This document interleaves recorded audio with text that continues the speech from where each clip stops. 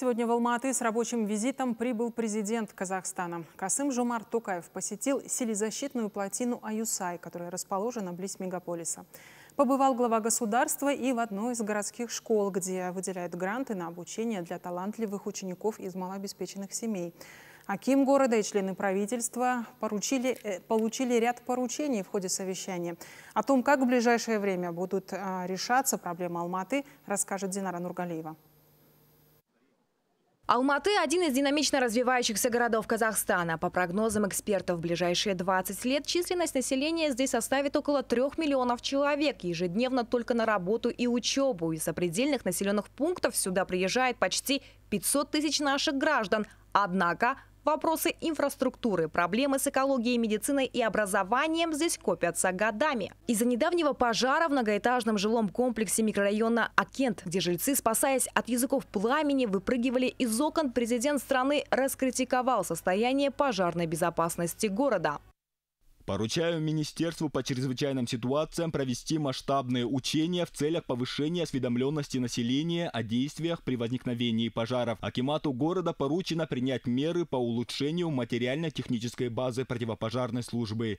Без внимания Касым же Марта Токаева не осталось недовольства жителей Медеуского района, которые остались в конце июля без воды из-за отключений. Причиной, по которым коммунальным службам пришлось ограничивать подачу живительной влаги, вызванные селевыми выбросами и повышением мутности воды в реках. Навести порядок в водной сфере поручил глава государства. Также, по мнению президента Казахстана, для улучшения экологии в мегаполисе нужно создать инфраструктуру для электромобилей. В свою очередь, Аким города Ербулат Дусаев сказал, что в течение двух лет запланировал переход общественного транспорта на экостандарт. А вот министр просвещения в одну из местных городских школ поведал о планах на новый учебный год.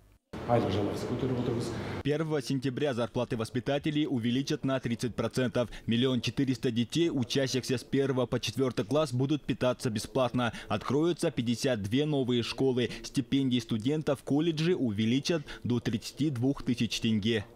Улучшение социального положения населения и трудоустройства молодежи категории НЕТ ляжет на плечи Акимата, Алматы и правительства. Им поручено разработать специальную программу по сокращению безработицы. Местным властям глава государства поручил улучшить бизнес-климат.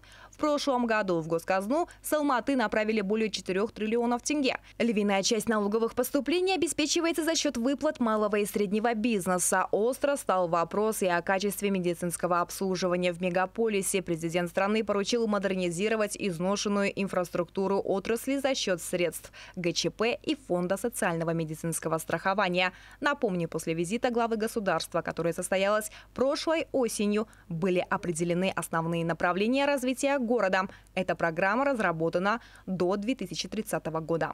Динара Нургалиева, Дидар Юлиев, Информбюро, Алматы.